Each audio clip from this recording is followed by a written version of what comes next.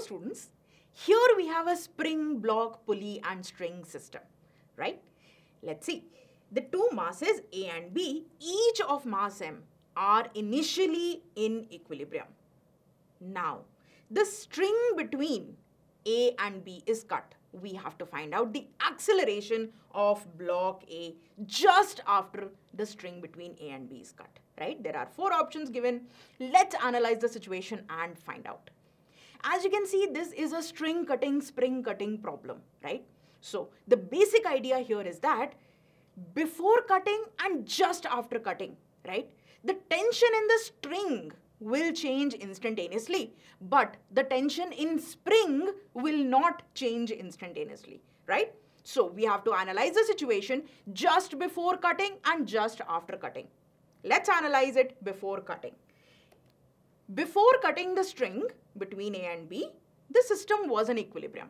So we can apply the condition of equilibrium which is net force equal to 0 on all the blocks over here separately, right? I can say that under equilibrium condition, block B has two forces acting on it, vertically downwards gravitational force which will be balanced by vertically upwards the tension. So tension in the string AB will be equal to mg.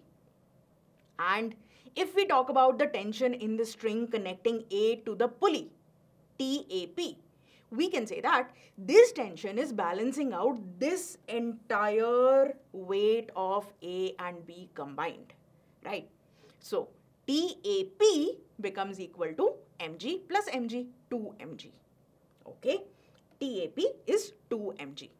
Also, if we look at the pulley, we will say that vertically upwards there are two forces, T and T, vertically downwards 2T. So, of course, tension in the spring will become T as well. So, at this particular instant, if there is an extension of X in the spring, we can say that Kx is equal to T.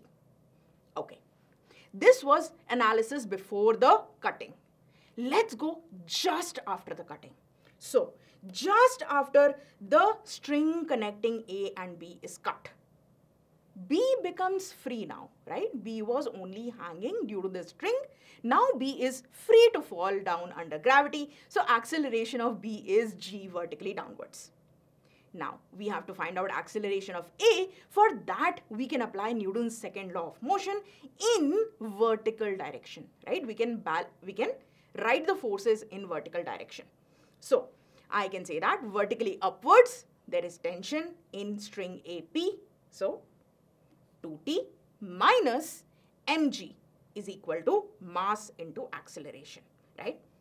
We get the value of acceleration as g. So, acceleration is g vertically upwards. So, I can look at the options and say option number D is the correct answer.